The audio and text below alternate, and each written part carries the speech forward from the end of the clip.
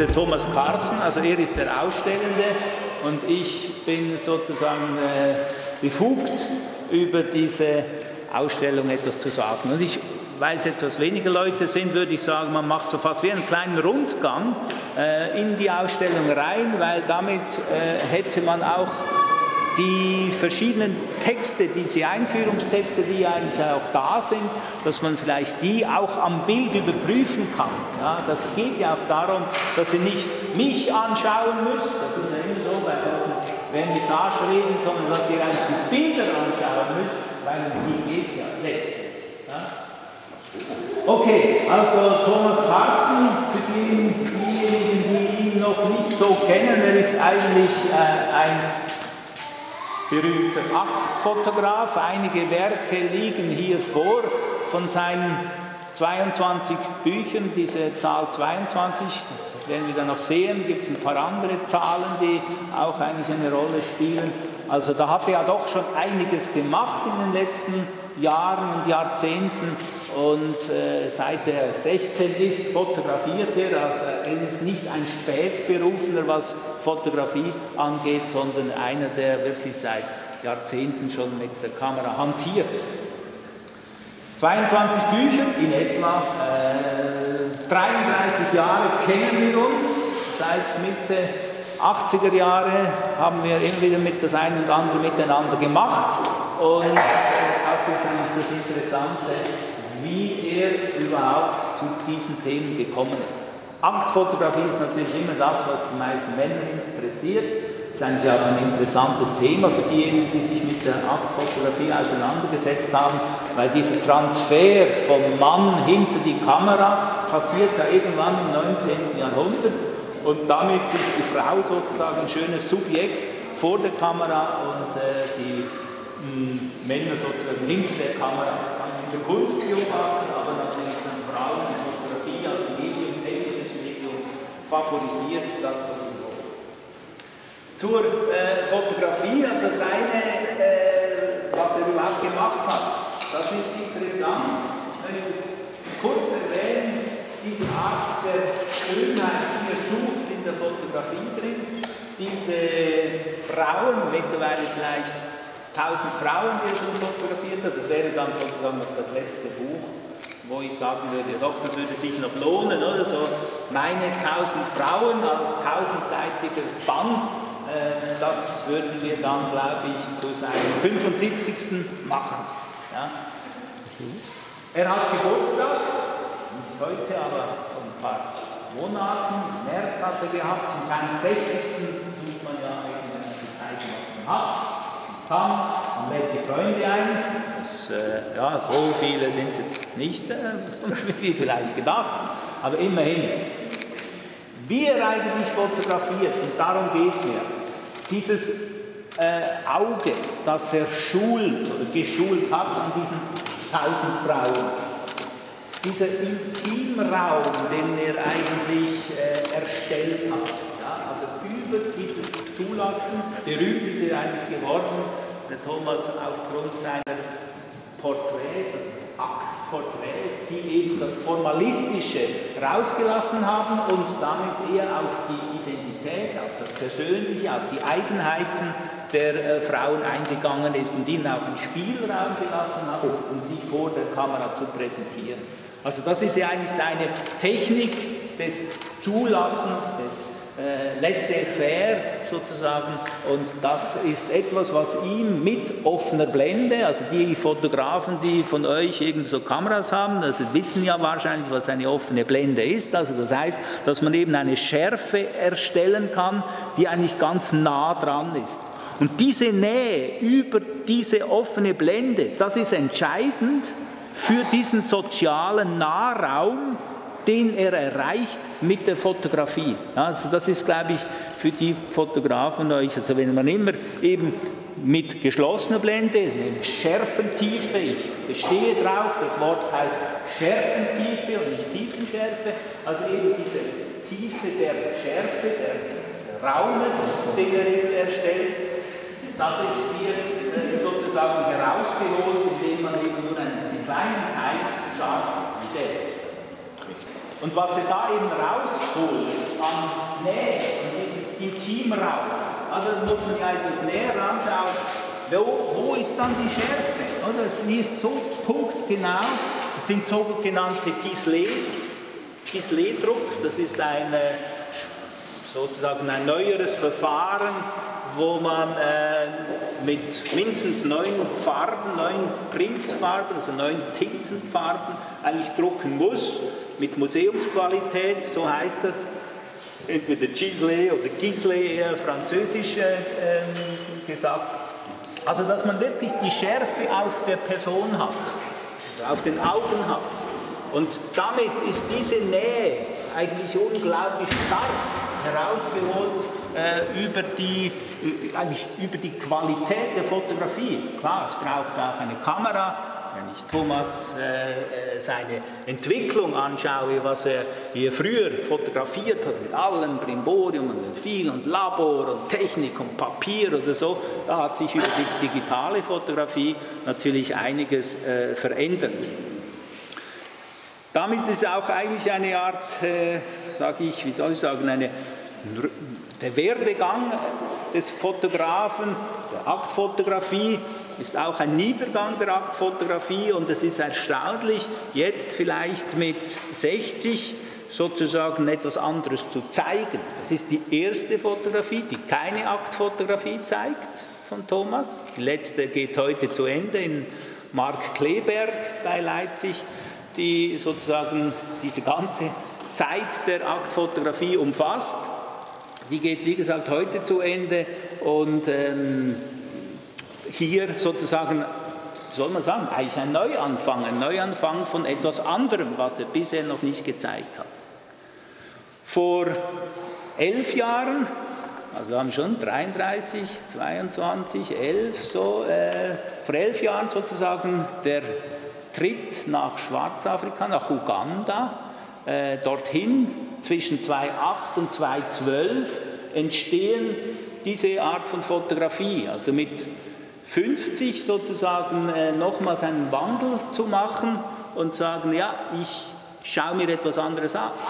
Ich versuche aus keine Krise sozusagen der Fotografie, auch keine Krise, glaube ich, sozusagen individuell, die da passiert, sondern es ist eine Neugier, die eben da aufscheint und eben indem man ein anderes Land, eine andere Welt, Land und Leute, wie das heißt, sozusagen in der Typologie der, der kolonialen Fotografie, äh, vor allem um 1900, dass er da etwas herausholt. Thomas Carstens Serien zeigen seinen tiefen Humanismus. Das ist immer wieder etwas, was in dieser Intensität vorkommt. Fern von jedem touristischen Blick. Ein touristischer Blick hat er früh auch drin. Es gibt ganz wenige Fotos, die so etwas distanziert sind, sozusagen das erste Mal in Uganda. Aber dann beginnt etwas, was eben die Qualität von Fotografen ausmacht, eine fast unheimliche Nähe zu den Menschen und damit auch eine Qualität an verschiedenen Orten. Das zeigt sich zum Beispiel in seinen Kinderporträts. Diese Kinderporträts, die sind so frech, so frisch, so schelmisch eigentlich von den Kindern, dass die wirklich etwas aufzeigen, wie Gesellschaft, wie Sozietät in Uganda im speziellen Fall funktioniert. Es ist eine unglaubliche Nähe, eine, ein Drauf-Einsteigen äh, mit der Fotografie, mit der Kamera, weil die Kamera selber ja ein Medium der Kommunikation ist. Und das zeigt sich wunderbar, wie das mit diesen Kindern funktioniert. Vor allem im Buch drin, das zur Ausstellung erschienen ist, sind auch immer ein paar fotohistorische Kontexte, damit man äh, erfährt, ja, was gibt es denn in dem Umfeld überhaupt auch noch. Ja, also ich als Fotohistoriker versuche auch immer etwas aufzuzeigen, was man vielleicht vordergründig nicht so sieht. Diese Aufnahmen sehen oder kommen natürlich sehr martialisch daher. Ja, sie sind jetzt hier sozusagen als zweiter Raum gebaut äh, und sie zeigen eigentlich etwas auf, was man nicht so erwartet von Fotografie. Waffen.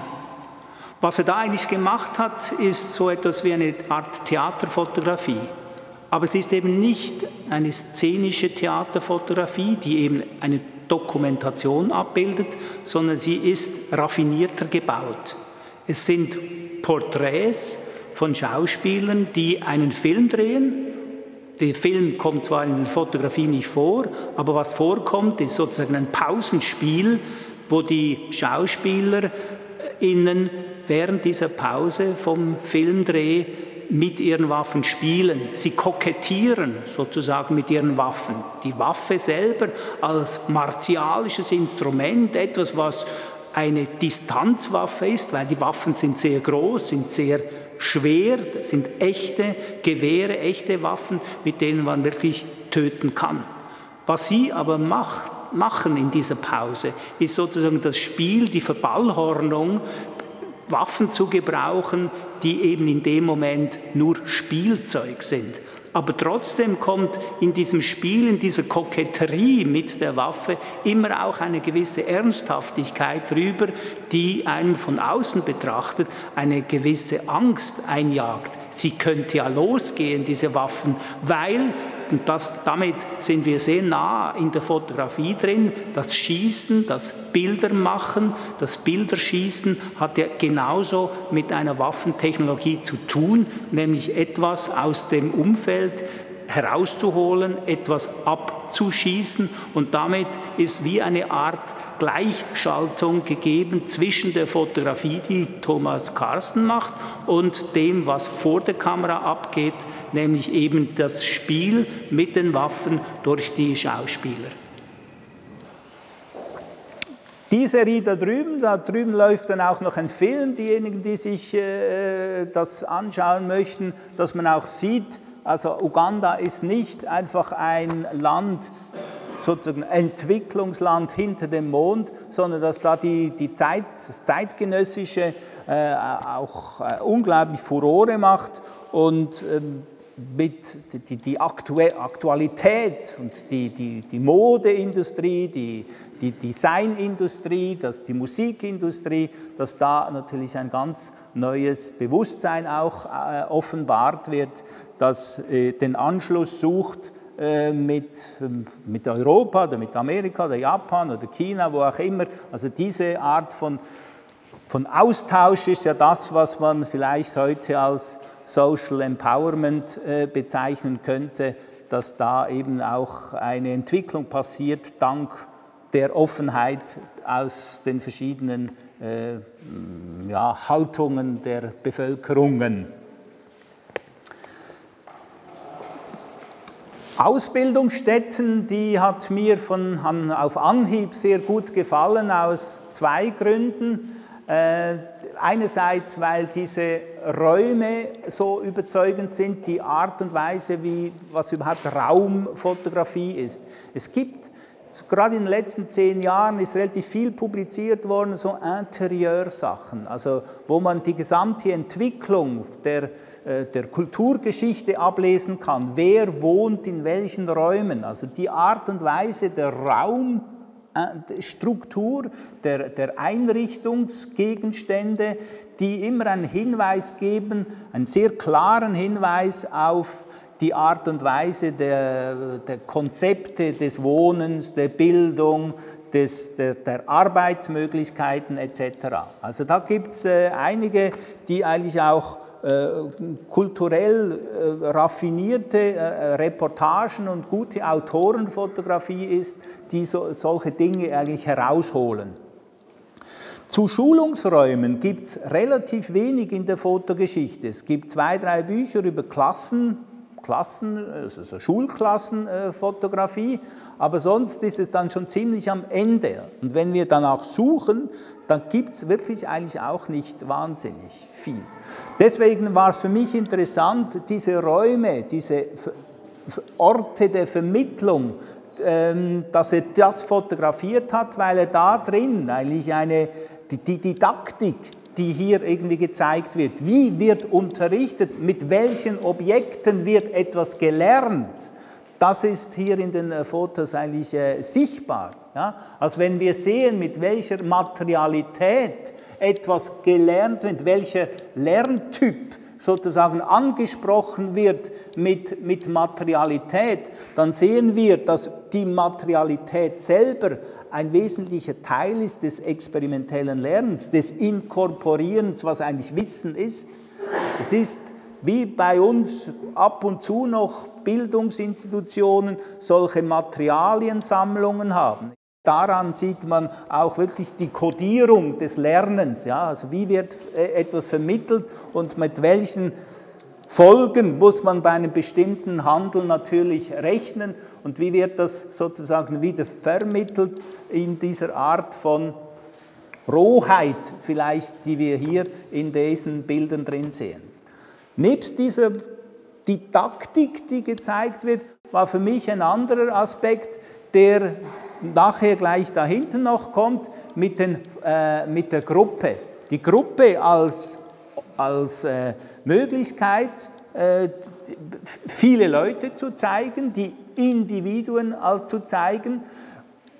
Hier drin bei den Ausbildungsporträts, also wenn, wir, wenn ihr solches da anschaut, ja, wer mit welchen Geräten äh, hantiert ja, und welche Geräte das äh, überhaupt ähm, vorkommen in einem bestimmten Berufsfeld. Das ist wie eine Art Stichwortverzeichnis. Also wenn, wir, wenn ihr zum Beispiel Berufsbücher, Berufsbildungsbücher anschaut, dann kommen ja viele solche Stichwörter, solche Fachbegriffe vor, die ganz spezifisch einen Beruf ausmachen. Ja, ihr könnt, wenn ich, wenn ich 50 oder 80 Stichwörter zu einem spezifischen Beruf sage, wisst ihr, welcher Beruf das ist, weil einfach die Art und Weise, was da vorkommt. Sowas kennt man aus der Gruppenfotografie.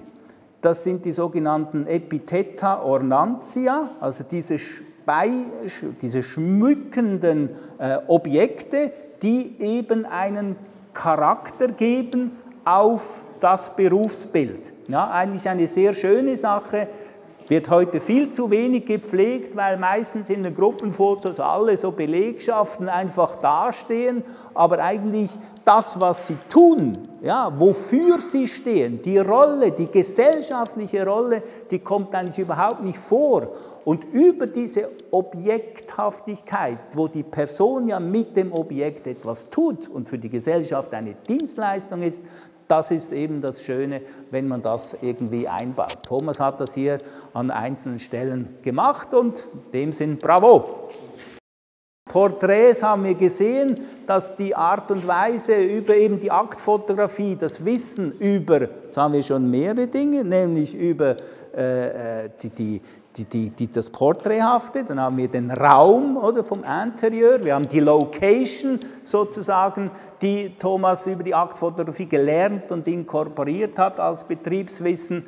Schauen wir hier hinten noch einen weiteren Teil an.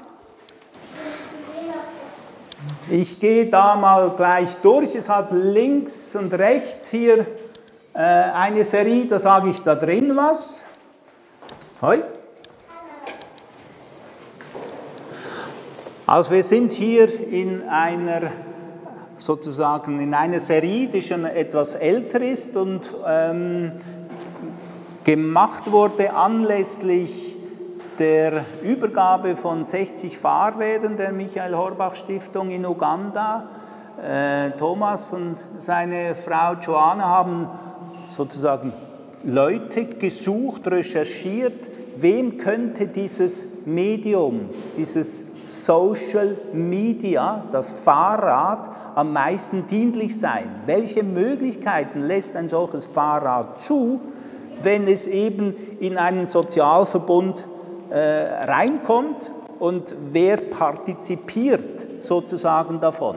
Ja?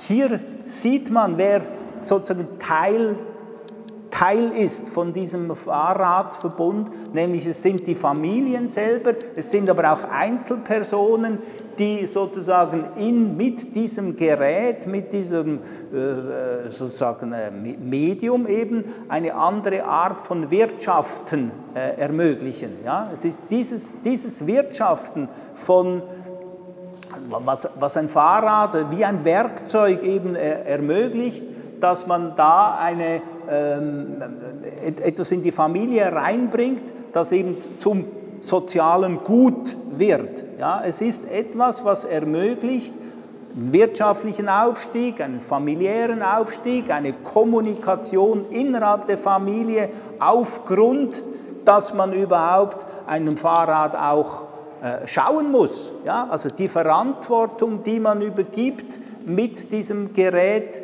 das ist äh, ein Teil dieses Projekts gewesen.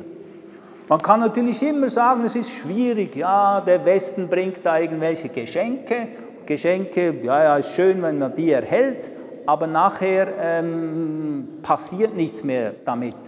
Und genau das ist der Versuch zumindest gewesen, dieses eben Social Empowerment insofern noch zu verbessern, indem man den Leuten auch die Möglichkeit gegeben hat, die Fahrräder zusammenzubauen, zu erweitern, zu wissen, zu lernen, zu lehren, wie sie funktionieren, wie man sie sozusagen ähm, reparieren muss, wo die äh, am meisten Schaden äh, erleiden könnten, damit auch diese Qualität oder des ähm, des Objekts auch bleibt und nachhaltig bleibt. Also nicht einfach nur ein Geschenk à fond en perdu, sozusagen etwas, was wieder vergessen wird, sondern wirklich da auch ein Objekt hat, das die Verantwortung erst erzeugt, dadurch, dass es eben vorhanden ist.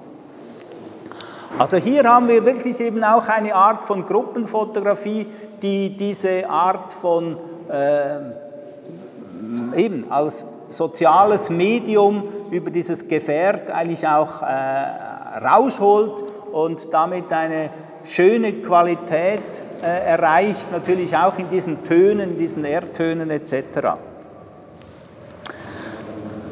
Die Serie, die dazwischen war, diese Behinderten, ist ähm, eine spannende Serie, natürlich aufgrund der Ideologien, die dahinter stecken. Wir haben in Europa im Laufe der Jahre natürlich ein anderes Verhältnis gewonnen, was Behinderung ist. Ja? Aber auch das ist nicht ganz so alt.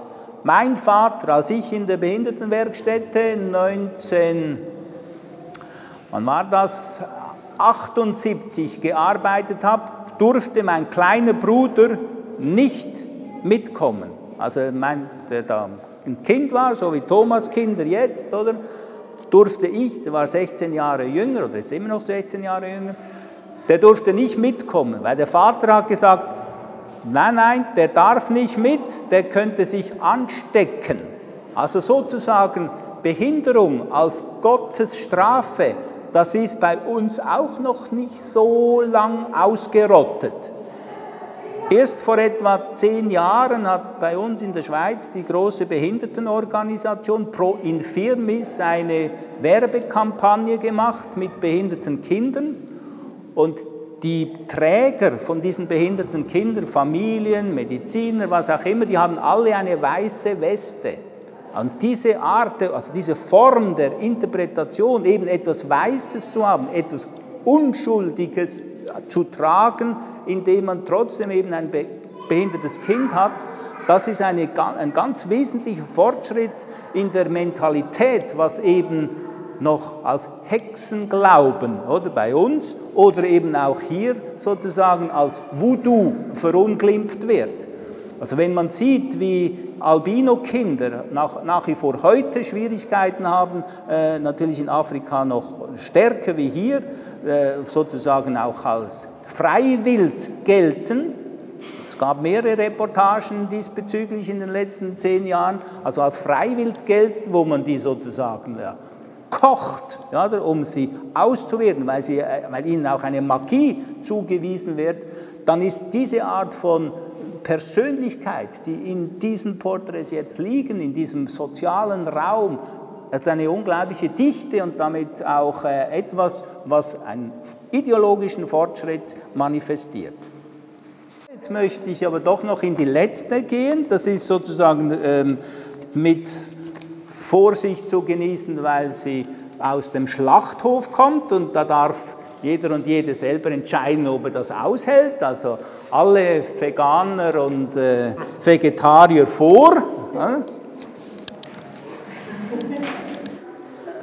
Im Schlachthof äh, ist, ist natürlich eine Art der, der Dokumentation, die wie gesagt nicht jedermanns, jeder Frau Sache ist. Äh, wir, ich war da selber dabei, deswegen kenne ich die Szene. Es war 24. Dezember, also Weihnachten morgen äh, 2009, wo Thomas und ich da waren. Er hat fotografiert, ich habe ihn beobachtet. Er war zweimal. Das ist eine Metzgerei in Uganda von einem deutschen Metzger geführt, äh, der da drüben porträtiert ist und damit äh, natürlich in dieser Nahrungskette eine wichtige Rolle spielt. Grundsätzlich immer noch äh, natürlich Fleischverarbeitung. Wenn man die Fotos sieht, dann äh, fehlen ganz klar natürlich immer Umfelder. Es fehlt, fehlen Gerüche, es fehlt der Lärm, es fehlt sozusagen die Mechanik äh, in einem Schlachthof, also das, was passiert, also effektiv eben beim Schlachten. Wo die Stärke äh, der Fotografie natürlich liegt, ist in der Art und Weise, wie, äh, ja, wie Thomas da ja ist. Äh, man sieht, wenn man die Bilder anschaut, ist eine gewisse Dichte, also es ist ein Gedränge. Thomas ist mittendrin in äh, diesem Blut. Das Rot ist Blut, ist nicht irgendwas anderes.